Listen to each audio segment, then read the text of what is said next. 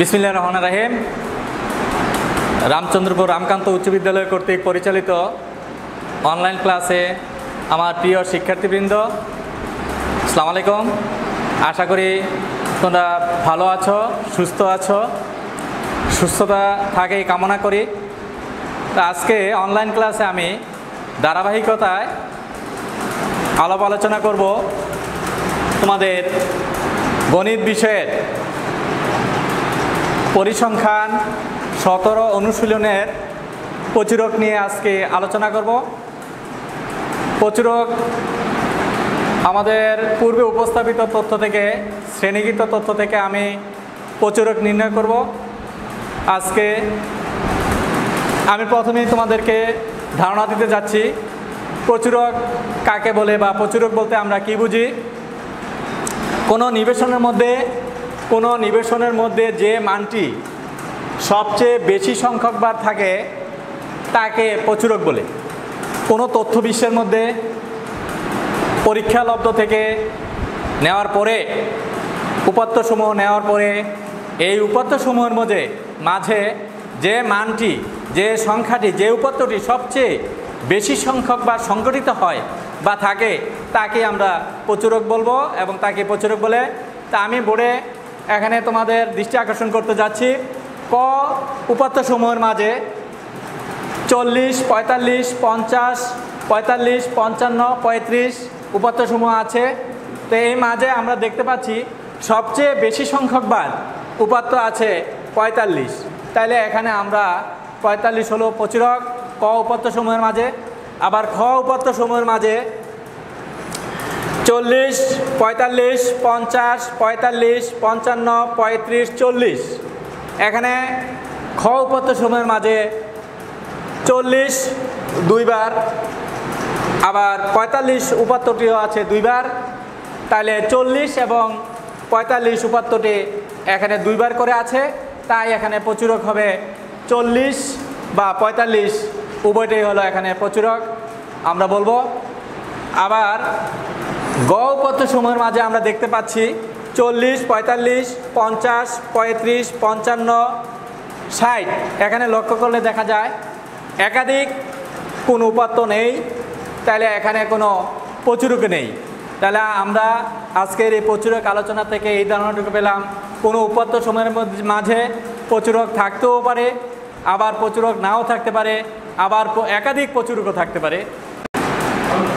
তাহলে আজকে আমরা এখন পরবর্তীতে শ্রেণীকৃত উপাত্তের বিগত পূর্বে উপস্থাপিত তথ্য থেকে শ্রেণীকৃত উপাত্তের প্রচুরক নির্ণয় এখন আমরা এই প্রদত্ত সারণী ব্যবহার করে প্রচুরক নির্ণয় করব।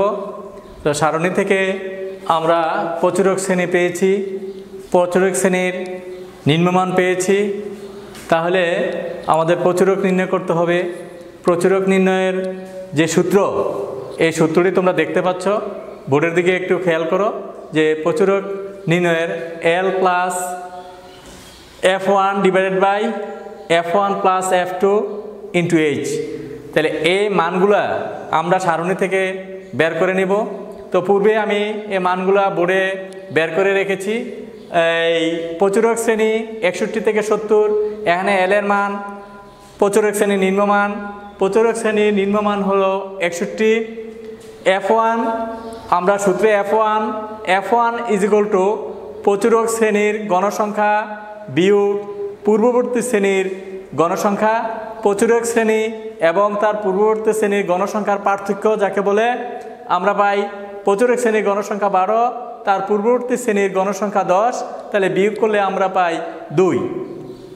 তেমনিভাবে এফ টু প্রচুরক শ্রেণি এবং তার পরের শ্রেণির গণসংখ্যার পার্থক্য হলো এফ টু এফ টু প্রচুরক শ্রেণির গণসংখ্যা মাইনাস পরবর্তী শ্রেণির গণসংখ্যা প্রচুরক শ্রেণির গণসংখ্যা বারো। তার পরবর্তী শ্রেণির গণসংখ্যা হলো পাঁচ বিগ ফল ইজ ইকুয়াল টু সাত। তাহলে এখানে শ্রেণি ব্যবধান হলো এইচ ইজ ইকুয়াল টু দশ। তাহলে প্রচুরক is equal to L plus F one divided by F one plus F two পুরুন H তাহলে এখন আমরা সূত্র মোতাবেক মান বের করে নেব।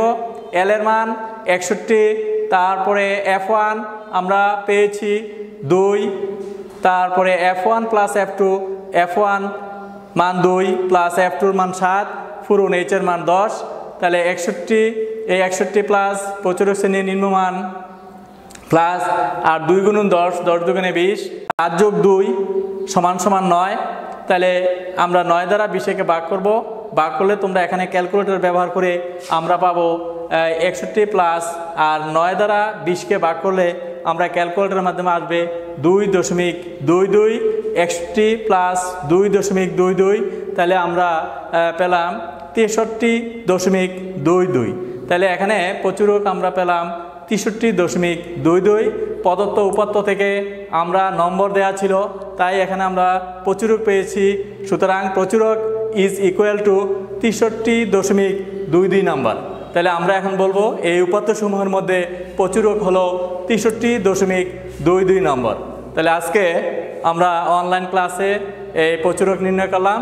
আজকে এই অনলাইন ক্লাসের আজকে প্রচুরকের উপর যে ক্লাসটা ছিল, এখানে আমরা প্রচুর পর্যন্ত গিয়েছি। পরবর্তী ক্লাসে আমরা তোমাদের একটা সমস্যা দিব, সেই সমস্যাটুকু বা এই সমস্যাটাকে তোমরা বাড়িতে বসে আবার গড়, মধ্যক প্রচুরক নির্ণয় করবে, তাইলে তোমাদের পাকা হয়ে যাবে এবং সূত্রগুলো আরও ধারণা পাকাপোক্ত হবে, তখন তোমরা নিজেরাই যে কোনো প্রশ্নে আসক, সেই একই নিয়মে যে কোনো প্রশ্নে আসক, শ্রেণীবদ্ধভাবে গড়, মধ্যক, প্রচুরক, সংক্ষিপ্তভাবে এই সূত্র প্রয়োগ করে তোমরা গড়, মধ্যক, প্রচুরক নির্ণয় করতে পারবে। তোমরা, তবে বাড়িতে বেশি বেশি করে করতে হবে। তাহলে আজকে অনলাইন ক্লাসে এ পর্যন্তই। তোমাদের সবাইকে ধন্যবাদ।